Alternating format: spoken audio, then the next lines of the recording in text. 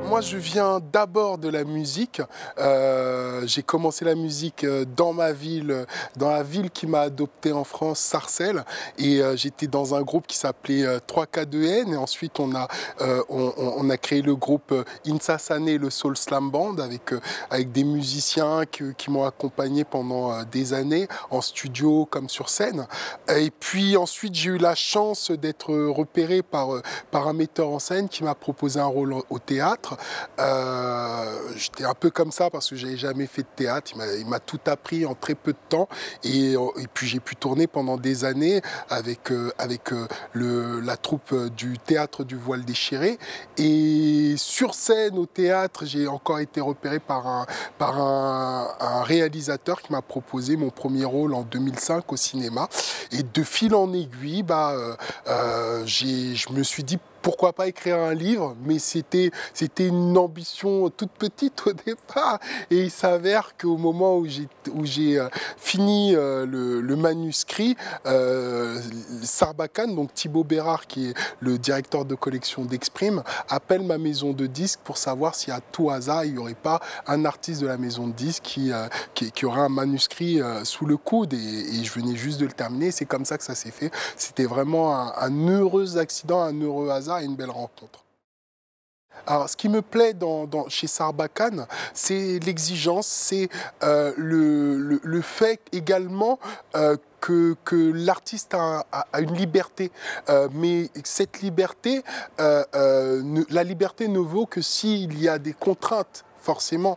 Et ces contraintes, c'est au niveau de la qualité, c'est au niveau euh, de la narration, c'est au niveau euh, de, de, l'intrigue, euh, de la langue également. Donc, et puis, c'est une, une, maison d'édition qui défend vraiment les livres qu'ils produisent, qui défendent les, les, auteurs qu'ils signent. Et, et, et, j'ai beau faire le fanfaron, j'aime savoir que je peux m'appuyer sur, sur des plus costauds que moi.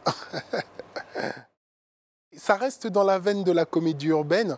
Donc, euh, euh, c'est la comédie urbaine, c'est Sarcelle Dakar, Du plomb dans le crâne, Gueule de bois, euh, Daddy est mort et maintenant Les cancres de Rousseau. Donc, ça se lit indépendamment. D'un volume à l'autre, on, peut lire ça indépendamment.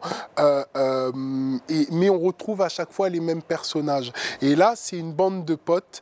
la bande de potes de Jirel. Ils arrivent en terminale. C'est, ça va être peut-être la dernière fois qu'ils seront assis du matin au soir ensemble sur les bancs de l'école. Euh, ils vont beaucoup se manquer. Ils ont décidé, bah, cette année, ça va être la plus belle année de notre vie scolaire et il faut que ce soit grand. Et, pour, et a un plan. Et son plan, ça va être de devenir le délégué du des délégués de l'établissement. Pour la première fois dans l'histoire de, de, de, de l'éducation nationale, on va avoir un cancre à la tête d'un lycée et, il a d'autres ambitions. Lui aussi, il a envie euh, d'enfin conclure avec Tatiana, euh, celle après euh, laquelle il court depuis, la, depuis la seconde. Et puis également, ils ont un prof qu'ils aiment énormément et qui est le seul à s'intéresser un peu à eux. L'œuvre dans la comédie urbaine, effectivement, je prends des personnages euh, qui sont souvent issus des minorités. Euh, c'est vraiment un choix fort parce que euh, on a en France malheureusement cette tendance à mettre des noirs que dans des bouquins qui vont traiter de sociologie ou qui vont parler de la guerre, où on va euh, euh, s'émouvoir pour ces gens qui ne nous ressemblent pas. Euh, et c'est ce que j'essaye de balayer d'un revers de la plume en, mettant ces personnages dans, dans le cadre de la fiction. Ils doivent exister dans la fiction. Et puis moi j'aime également, on parle aussi des, de la banlieue, de la violence dans la banlieue, mais c'est d'abord des histoires humaines qu'on est en euh, de, raconter. Quand euh, euh, j'ai vécu dans des immeubles, à chaque étage, il y a une histoire à raconter. À chaque appartement, derrière chaque porte, on a un livre à écrire. Et, c'est ce pourquoi, en réalité, je me bats. Mais je me bats de manière humble, mais avec énormément d'ambition, parce que il, serait peut-être temps qu'on écrive des livres. qui s'intéressent à ceux qui ne s'intéressent pas aux livres en général quand j'écris un livre, euh, j'ai besoin de, de, musique. Il faut que je trouve la, la bonne musique, les bonnes musiques qui vont accompagner mon écriture. C'est un univers et puis c'est également euh, euh, de l'impalpable, euh, des, émotions, c'est des, des images, c'est des décors, c'est une atmosphère impalpable.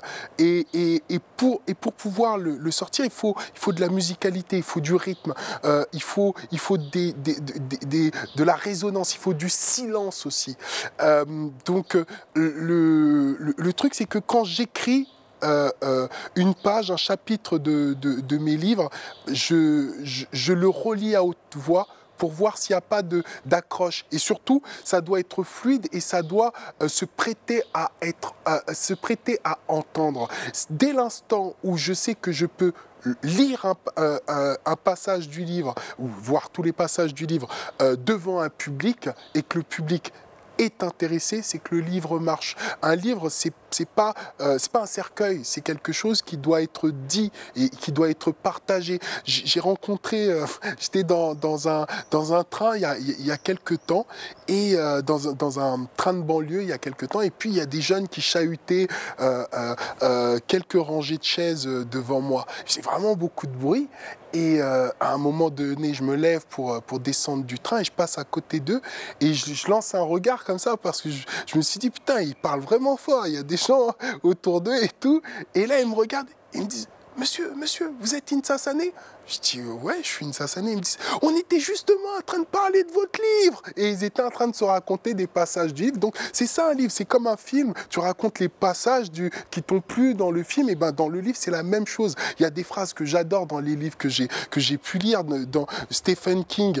Euh, euh, euh, son regard trahissait la fréquentation assidue de l'alcool. J'adore. Et le dire, c'est génial. Tu dis, bah voilà, ce livre, il est génial. Il y a cette phrase qui est, qui est, qui est, qui est, qui est terrible. Dans dans euh, euh, Pimp d'Iceberg Slim, euh, il était tellement beau que n'importe que tout le monde aurait tué père et mère pour ressembler à son cul. C'est génial